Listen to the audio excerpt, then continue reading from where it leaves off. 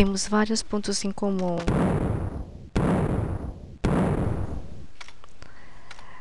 Bom, além de milhares de e-mails, nós temos as nossas redes sociais, temos também os nossos contatos profissionais, os ambientes de pesquisa e também eh, acesso a documentos, papers, blogs, ambientes virtuais e os nossos próprios sites. Como lidar então com tudo isso? Nós buscamos uma convergência, a coletividade de parceiros, projetos, pesquisa, publicação, interesses em comum. Eu gostaria de mostrar como eu uso a Tool Library de uma forma otimizada.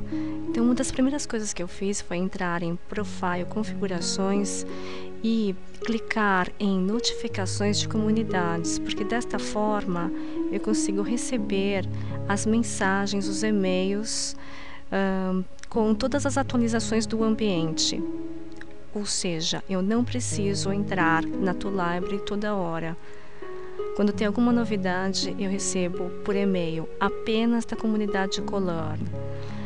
A outra coisa também que eu acho interessante é otimizar o dashboard, essa tela principal. Então eu coloquei os amigos, os amigos são as pessoas só da comunidade Color.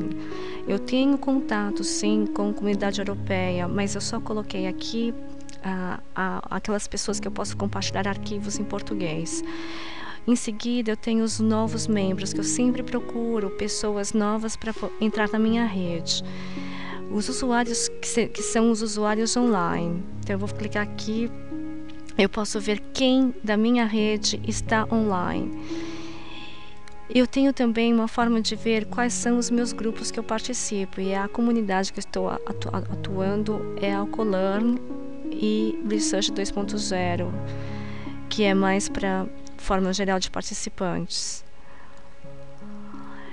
As páginas Wiki são as páginas que eu posso criar no meu ambiente, não necessariamente divulgo para o Color, mas são tópicos que eu ainda estou refletindo.